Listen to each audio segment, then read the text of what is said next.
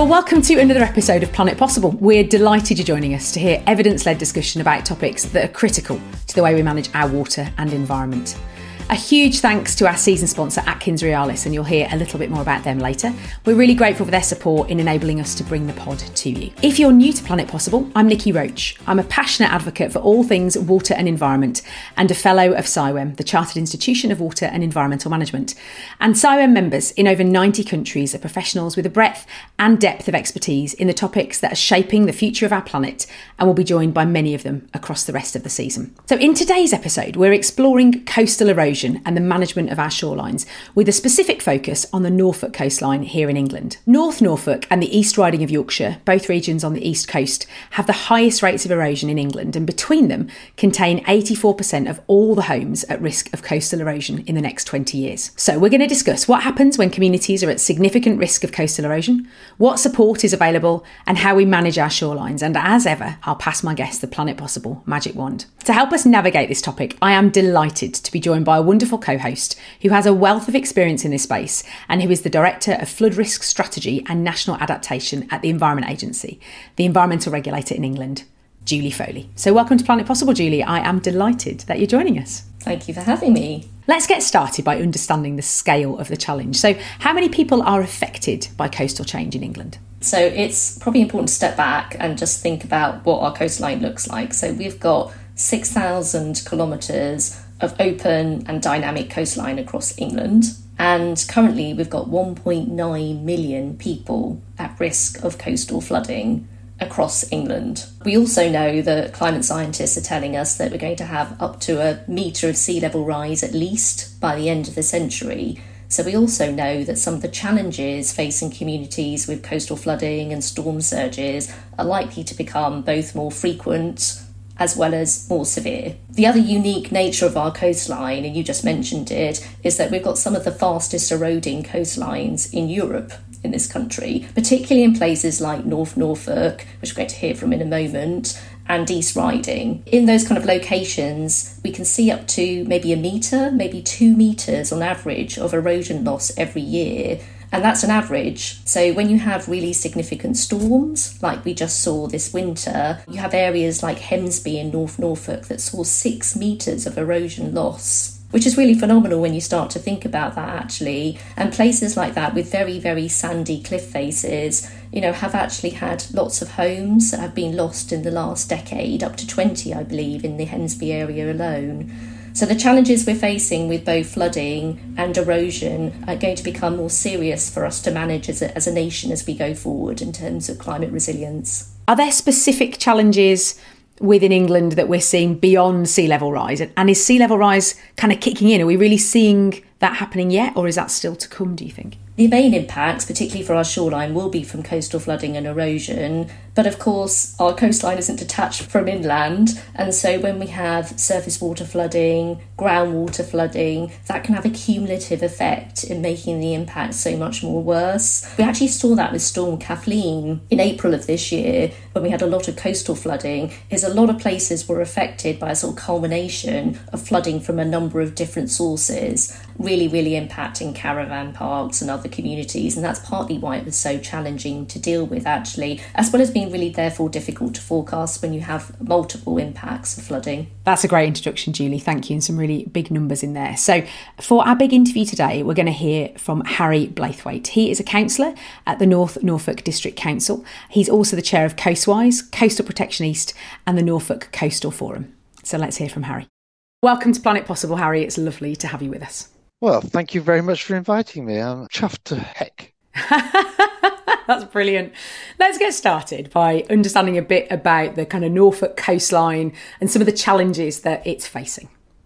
Yeah, the Norfolk coastline, if you think of North Norfolk, it goes from west to east, not north to south. On the west of North Norfolk, we have shingle banks and accreting salt marsh as the main protection. To the far east, we have the wall, which is the Holder line that is also backed up by sand dunes. But the sand dunes, the wall destroys the sand dunes in a way. And in between, we have the eroding coast, the eroding cliff. that is our biggest challenge. It's friable, it is prone to collapse. And ever since the Ice Age went away from us, we got this slowly eroding cliff line, which means a sinking beach. We just have to deal with that, and it's it's a tricky one. And you talked about the wall. What is the wall? In 1953, in my ward, I actually live nearby. I don't actually live in my ward. In 1953, we had the big flood where the sea came in and it obviously went across very, very low lying land. None of my ward is basically above sea level. It had a devastating effect. The government of the day decided on that part to build a seawall to protect in the future, and it's worked brilliantly. So we've got shingle on one end, we've got the wall on the other, and then the stretch in, in the middle. And how long is that stretch of coastline? What are we talking about? That stretch of coastline is about 40 miles. Are we talking about a section of coastline that's quite populated, or what, what's it like? Yeah, it is. We have Cromer, we have Sheringham. Sheringham is shingle protection, seawall protection, but from there on, we start the cliffs start building. From there, we have Cromer, which is a large community, and then various villages all along the way until we get to a place called Cart Gap. And at Cart Gap, the wall begins. So I am aware that obviously that part of the world is particularly vulnerable to sea level rise. What is the kind of future impact that you're expecting to experience? Well, it's not just the sea level rise. The impact we're getting is huge wet weather events, which is leading to not surface water, but groundwater. That groundwater is eroding the cliffs faster than wave action actually at the moment. It depends where exactly along the cliff because some of it is chalk, some of it isn't chalk, it's marl. But as sea levels rise, yes, it is going to be more and more wave action hitting the cliffs from below, and that will be accelerating decline of the cliff slump from the top from the groundwater erosion. And have you got lots of communities that are very close to the cliffs already, or are we talking about the quite a way back?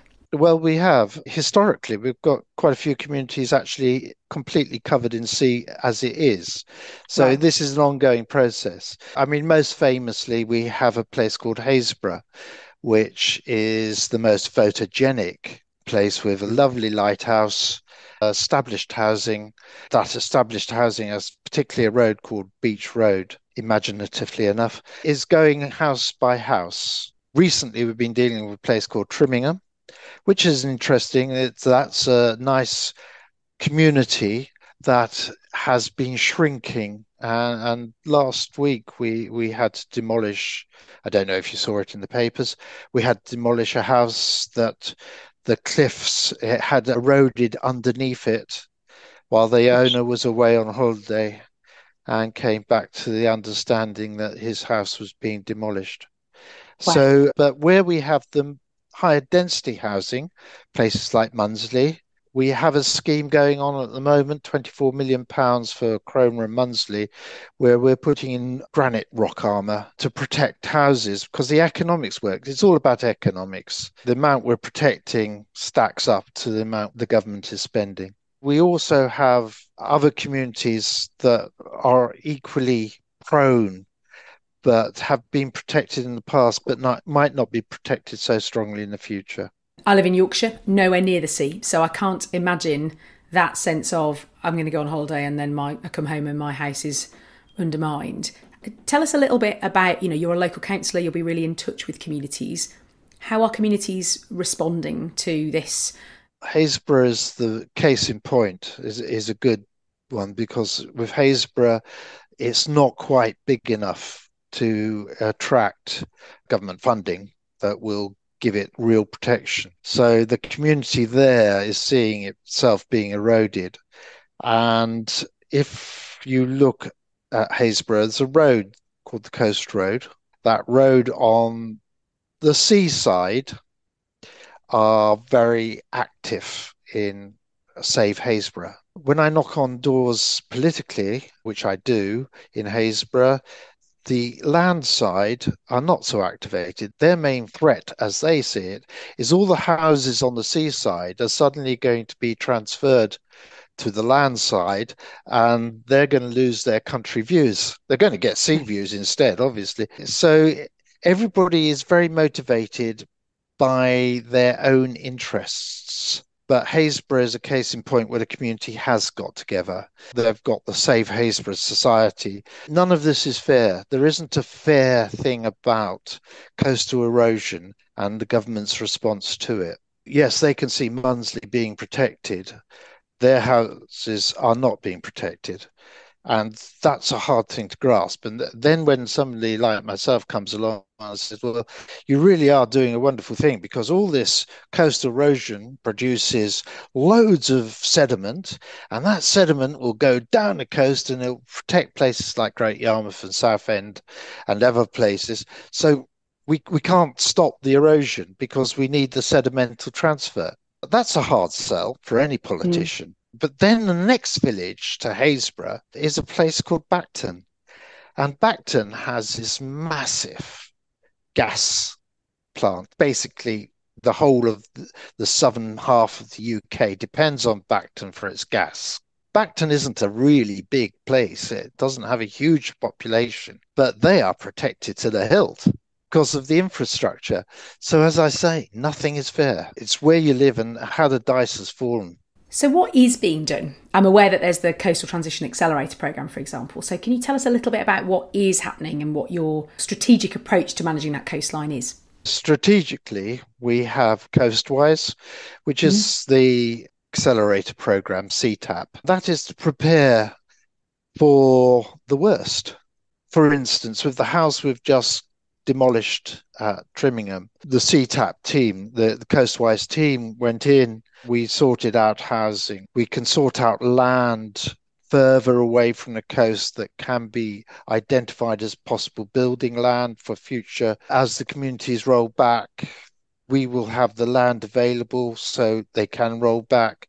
It's all about preparing the communities for the future where it is not defensible. For instance, at Happisburgh as a car park, understandably by the cliff edge is owned by the parish council. It has toilets, which are owned by the district council. It has a play area, great area for the tourism offer of Happisburgh, but that is coming to a stage where it's no longer viable. We have helped the parish council by purchase the land in which to put the car park back there is going to be a new car park set further back outside the coastline protection zone. That's an exercise and a practical exercise that CTAP has spent money, government money, in facilitating. And it is about facilitation. Are you working with communities at community scale to say, you know, previously we, we may have been defending this coastline and now we're going to do managed realignment? If there was a community that was at risk, what does that look like from the CTAP programme? the Coastwise team been doing drop-in cafes. Community can come in, get a free cup of coffee. They can see the maps, the predictions. They can understand the challenges. The slow sell is we're not going to be saving your house, unfortunately, but we are making it so you can still have a house. You will still have a house. It might not be the perfect sea view you've got now, but it, it's all about spreading that word gently but firmly. There's no point in pretending that every house, every holiday park, every car park, every pub, every village hall.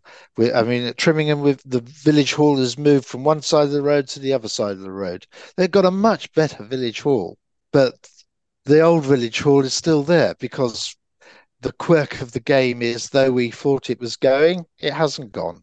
It's part of life, but you don't, communities don't get it or individuals don't get it until they hear the crash of the wave and the suck of the wave retreating and taking the shingle and sand with it. And then they really get it and they know it's happening and they're worried about how long they've got. And nobody can predict how long they've got because it, of the nature of the beast. but we can say, well, it's time you started thinking about it. What would work for you? We can do this. We've earmarked this piece of land. You can think about what you could build there. You could think about if your holiday park is no longer viable. This farmer has allowed this field. We will allow a holiday park there and all the facilities. And that way, the story gets told in a way that everybody can take it, it's bite sized pieces. It's a lot to take in, isn't it? Do, do you see whole communities moving in one go, or is it is it quite piecemeal? I have no sense of how that works. It won't be a whole community. We won't pick up Happisburgh and just take it inland. I mean, the graveyard's an interesting one at Happisburgh. Not as interesting as landfill sites, you understand, but we actually, in North Norfolk, we haven't got a landfill site. Great Yarmouth right. have at risk. That's really a dodgy problem. But with graveyards, when do we take the bodies from the graves and, and start a new graveyard? What do we do with the 15th century church? What do we do with the pub, which is grade two listed and is unique? The Victorians at Trimingham, they actually took their church before it collapsed, took it piece by piece and rebuilt it further inland. It's kind of on the verge of being at risk again. Medieval churches are going to be a real challenge in Norfolk. We've got a lot of medieval churches, and nobody wants to see a medieval church disappear over the cliff. Mm. But it's those things deep within the community. So if you move the church back, communities in the past have, have clustered around the pub and the church with the mm. village mm. hall that is the organic way of doing it. So how do you make those decisions? You know, if you have got a, you know, 15th century church that is at risk of disappearing into the sea, is that is that something you make as a decision with the community or how do those kind of decisions get made?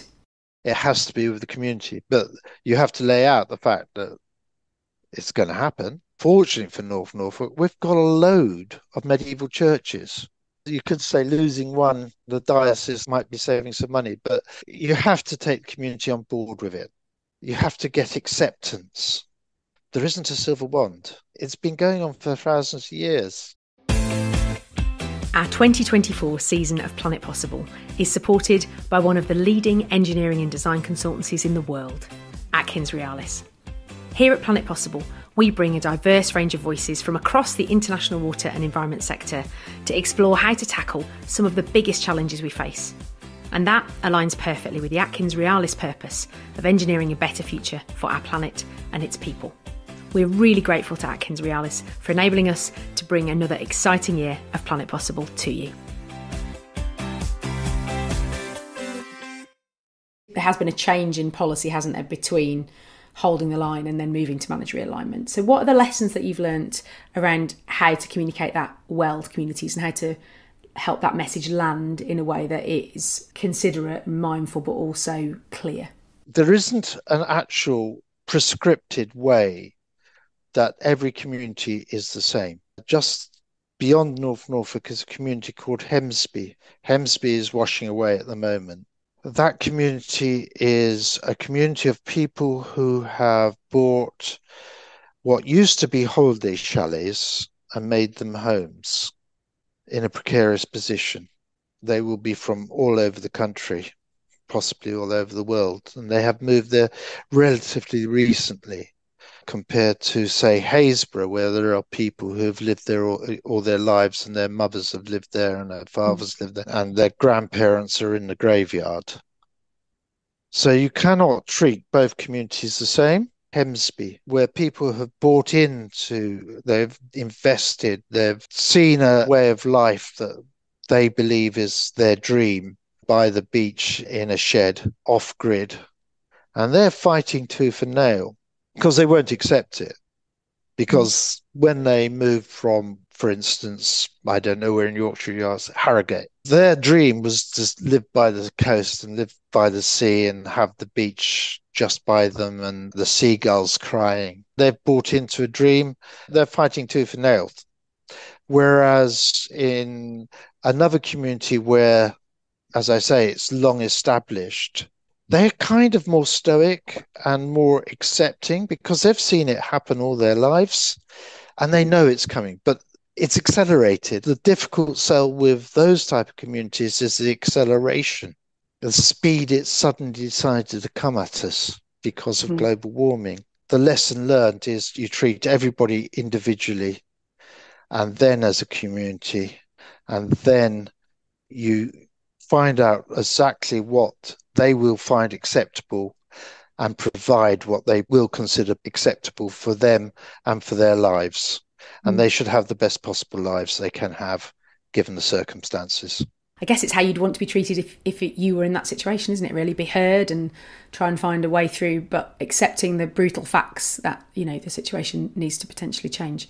Okay, Harry. So final question, and I ask all our guests this. So I'm going to pass you the Planet Possible magic wand. Give it a wave. What would you like it to make possible?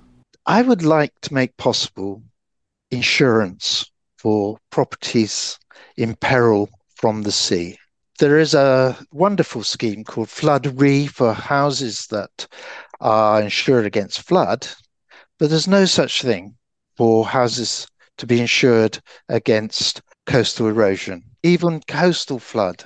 Once we have insurance, it will make all the difference and it will change the conversation because they know they will be able, should the worst happen, to start again with at least mm. something in the bank. And I'd mm. be really, really happy to see that. That's absolutely fascinating. I hadn't appreciated it didn't exist. So that's a great one to end on. Harry, thank you so much for joining us on Planet Possible. It's been a real pleasure. I've really enjoyed the conversation. Thank you. Thank you, Niki. Thank you. So, Julie, what are your initial reflections on the interview with Harry? It's really great to hear a local elected member being really visible and open and, and indeed brave in talking about the realities of coastal erosion and the coastal challenges that we're facing. And in places like North Norfolk, those coast erosion challenges are very real for communities. So sometimes when we talk about climate adaptation, that can feel very far away to many people. But actually, the challenges facing communities in different bits of North Norfolk are, are really here and now. And we are confronted by the realities of needing to look at rolling communities back and moving them away and transitioning them back from the coastline. And I think he described that really, really well, as well as the really important engagement that the council is doing in involving and ensuring that there's buy in from local people and businesses. He talked a lot about fairness. I was really struck by that. And he referenced the Environment Agency's position moving in some areas from hold the line, protecting those areas, to managed realignment, which I guess is allowing the coastline in some areas to erode. Talk to us about how the Environment Agency plans how to manage coastlines this is where I'd really like to talk about shoreline management plans and what those are. Many people won't have heard of a shoreline management plan, but actually they're really brilliant in that they're world leading approaches to coastal adaptation Unlike many other countries around the world, we have shoreline management plans covering all aspects of our coastline. Indeed, we've got 20 of them, and they're comprehensive plans that look at planning for coastal adaptation, not just for the next few years, but over the decades heading out to the end of the century and beyond. They're unique in that what they do is they set out a number of different approaches. And you can think about those in sort of three broad categories. So the first is around holding the line. That's where we take action to, broadly speaking, keep the coastline more or less where it is by helping to protect, maintain, and defend existing sea defences. The second category is called managed realignment, and that's where we work with nature, in many cases, to realign the shoreline through the creation of intertidal habitat, wetlands, and salt marshes, and they act as a, as a natural buffer to storm surges and wave action. And in selected places, it can involve what's called no active intervention. What we mean by that is we need to let nature take its course. And there are some parts of the country where the scale and the pace of climate change is now so significant that in the longer term, it's not going to be either technically or economically feasible to be able to protect that coastline. And some of the locations that Councillor Braithwaite referred to are no active intervention locations, so places like Hemsby. But he also referred to other bits of the coastline where we're going to be able to take, where we've been taking quite innovative approaches to sandscaping and providing defences, such as in Bacton. So when you look at different bits of our coastline, what the shoreline management plan does is it says what's the best sustainable management approach for that particular part of the coastline over the decades to come. And it reflects the sort of geology of those different places as well. So, where you've got really sandy, fast eroding cliffs versus sable, chalky cliffs. So, it needs to reflect the realities of the fact that the coastline is, is very, very different, even in one specific location like North Norfolk.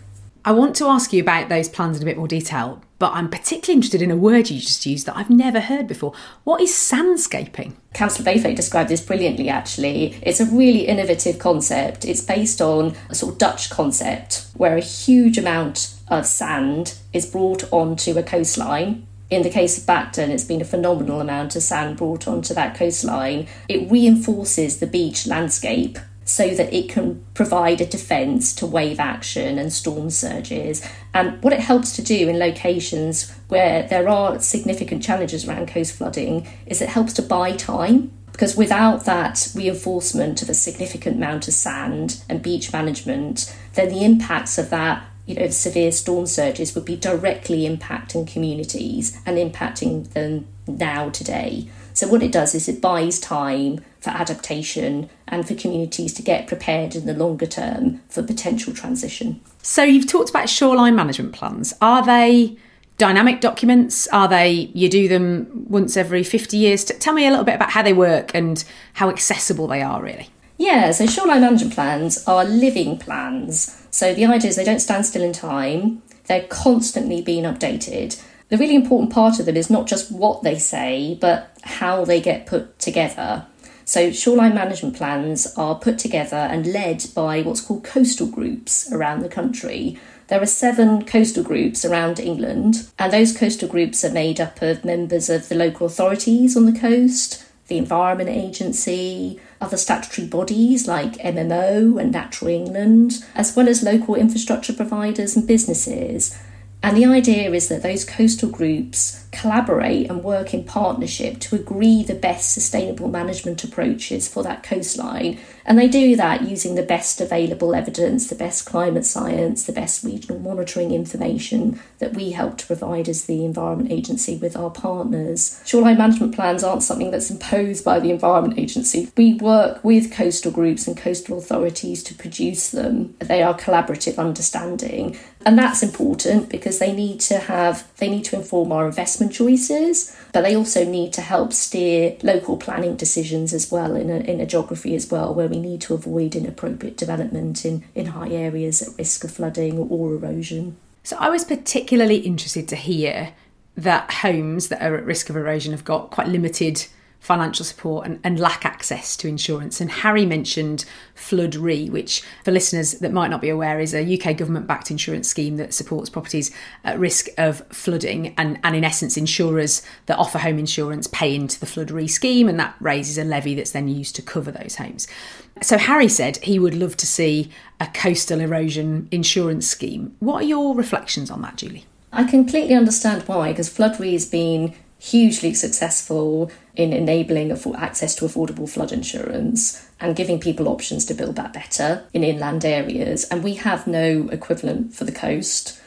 I think the really challenging concept here is that when you're talking about insurance, for the insurance sector, it's probably going to be very difficult to persuade the insurance sector to provide insurance to homes and businesses that are at erosion risk and who have properties that in future years sadly won't necessarily be there. They will be affected by an eroding coastline, they're likely to be lost to the sea. In other countries around Europe, what we're aware of is that governments provide compensation. That's not a mechanism that exists in this country, I should add, to provide compensation for people affected because, you know, quite understandably, if your property is at risk and that is your only home, building, business, the idea that it might be lost to the sea and you have no entitlements around that, no financial comeback or insurance is really, really difficult. And it's also equally difficult for the local authorities as well because they also don't have funding generally provided to be able to invest in rolling back communities and finding alternative places for people to relocate. And that's the very reason why we set up the Coastal Transition Accelerator Programme was because actually of that absence of funding and mechanisms to be able to support communities in the right way, to be able to transition and adapt, because there just aren't mechanisms around insurance for the coastal sector or indeed compensation. I mean, Harry talked about the Coastal Transition Accelerator Programme and it's called Coastwise, isn't it? I think locally in North Norfolk. I hadn't heard about it before Harry and I talked. Tell us a little bit more about that CTAP programme and, and what it's doing nationally and kind of what your aspirations for it are. We worked really hard in the 2020 budget to secure some funding for CTAP. So it was the same time that we secured our investments for our overall flood and coastal investment programmes, the majority of the money of which goes in traditional sea hard engineered defences and beach management schemes. And there is no, that up until that point, there was no way of funding coastal transition or coastal adaptation. So we created this concept of the Coastal Transition Accelerator Programme and we started with two locations actually. You've heard from Councillor Blathwayt's work with the council in North Norfolk, uh, which is called Coastwise. The other key project is in East Riding, which is called Changing Coasts. It goes under that banner because uh, East Riding also has major challenges around coastal erosion and landslips. What we wanted to do is provide some funding to be able to look at how we can roll back communities, relocate, you know, central community facilities, whether or not that's car parks on the coast, cafes, beach huts. We also wanted to look at opportunities to create coastal zones that provide nature based adaptation and buffers to storm action and wave action to help, as I said, buy time. And we also wanted to provide the funding to be able to look at innovative finance so, how do we kind of fund coastal adaptation into the future when the funding for this time limited programme ends? You know, what happens after that? How can some of these places be more self sufficient with their funding into the future? And those two areas have received £15 million, which enables them to actually do some very, very proactive community engagement, like we've been hearing about in North Norfolk and at the end of last year, we extended CTAP to a number of smaller locations in the southwest. So that includes Bude in Cornwall, and Swanage and Charmouth in Dorset as well. So we'll be taking forward CTAP in a number of smaller locations as well. And the idea is that we get all this learning from this innovation programme and that helps to inform our future investment bids to government so that we can mainstream some of this work, recognising that the erosion challenges that these communities are facing, which are quite unique and here and now at the moment, but we know that there's likely to be you know thousands of other properties around the coastline impacted by erosion in decades to come. And so they're also going to need to have support around coastal transition as well. So you've talked really articulately there about the future position that might be to come and, and CTAP feels like the seeds that you're sowing for more. What do we need to be doing by 2050 that we're not doing now when it comes to coastal management? Here and now, we've got hundreds of properties at risk of erosion around England. And with a changing coastline and sea level rise, we're likely to have thousands of properties at risk of erosion. But the best way in which we understand that is through building our evidence based. One of the things we're doing as the Environment Agency, and we do this under the banner of what's called our strategic overview role of all sources of flooding and coastal change, which includes erosion, is we produce great evidence that provides an understanding about current risk as well as future risk. And we've got two key tools in train at the moment for seeking to do that. The first is called the National Assessment of Flood Risk, what's also called NAFRA. And that exists at the moment, but it's been updated to reflect local modelling and national modelling in terms of risk and to build in climate change. And that will update our understanding of future coastal flood risk. And then we've got another tool which is the National Coastal Erosion Risk Maps, which are also called NCERM, and they will update our understanding, again, building in climate change and the latest regional monitoring information. That will update our understanding of homes and properties and infrastructure at risk of erosion over the next century. And that information will then provide key evidence to be able to inform practitioners and policymakers about the investments they make, as well as spatial planning choices. What's brilliant about those two tools, NAFRA and NCERM, is that they will enable us to collectively paint a picture of what our kind of wet and disappearing coastline is going to look like in the decades to come.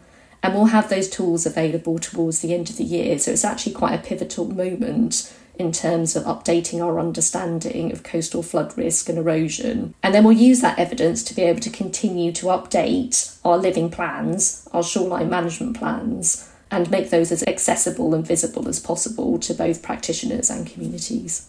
So those tools will be available to the public. Can anybody be able to go and uh, go online or go somewhere and have a look at those plans and understand what the future looks like? Is that the intention? Yes, we'll be we'll be looking to make those information available through things like check your long term flood risk, which is already on gov.uk. So we'll be updating that. Also, importantly, for the shoreline management plans, we've recently sought to make those much more accessible and map based. So, earlier this year, we put all the refreshed shoreline management plans that we've been working so hard with coastal groups on on a new digital tool called Shoreline Management Plan Explorer. And it means that anybody can put their postcode in, search their bit of the coastline, and find out what is the sustainable management action for that bit of the coastline, not just today, but into the future. And we'll be using things like the new erosion risk maps to update the shoreline management plan so we continue to make that information as transparent and visible as possible. So it's really important that if people are going to be empowered to constructively challenge, if you like, both their local elected members and national governments of the future, that they have the best available information. So we don't want things like shoreline management plans to be sort of sitting on the shelf. We want them to be readily available so that everybody can use them and make informed choices about what coastal change looks like for them in their local places. That's brilliant. Well, we'll put a link in the show notes to the site in that case, then, so people can go and have a look at their own if they want to. That's brilliant. Thank you. Okay, final question. And you probably know what's coming because I ask all my guests this. I'm going to pass you the Planet Possible magic wand, Julie. Give it a wave. You can make anything possible. What would you want? I would love the shoreline management plans to be statutory plans. So, having spent so much time working coastal groups to update them and to make them brilliant plans, in terms of living coastal change adaptation plans, it always surprises me that they're not statutory plans. And if they were to be made statutory, that means that they would be made more material in planning choices. We'd be able to ensure that we're not getting any new developments along our coastline in areas at high erosion risk or where there's coastal flooding risks. And that's really, really important actually, is to tie the shoreline management plans much more and hardwire them into spatial planning and town and country planning. So um, I'd love to see that because when you look at parts of our coastline currently and you just take a map and have a look at it, you know, you don't just see homes at risk. You've got railways close to the coastline, you've got other critical infrastructure, power plants, water treatment plants. We need to be really wary and thoughtful about further development in areas at risk and the shoreline management plans should be informing that. And if they were made statutory, I think that would really help to give them status and to ensure that they can remain you know, fit for the future. Brilliant, great answer. And uh, well, you heard it here first. Statutory shoreline management plans. I think that's a, that's a really positive way forward. Thank you, Julie. I have learnt so much through this episode. I've absolutely loved making it. Thank you so much for joining us. As ever, time has flown by, and we're here at the end of another episode of Planet Possible. So thank you for joining us too. I hope you found the conversation insightful. Hopefully, it's given you something to think about in your world. You can subscribe to Planet Possible on your usual podcast player to never miss an episode. And we'd love as ever to hear your ratings and reviews. We've got more fantastic guests and topics lined up for the rest of the year, so I hope you'll keep joining us. And all that leaves me to say is a huge thank you to my superb guest, Councillor Harry Blathwayt, and my excellent co host, Julie Foley. That's it, everyone. Stay safe, and we'll see you next time.